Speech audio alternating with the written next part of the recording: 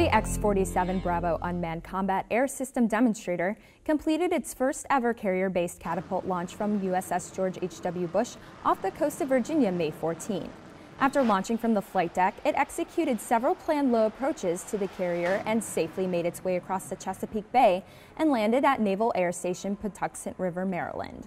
The launch demonstrated the team's ability to navigate the X-47 Bravo on an aircraft carrier at sea and seamlessly pass control of the vehicle from a mission operator aboard the carrier to one located in the Mission Test Control Center at Pax River for landing.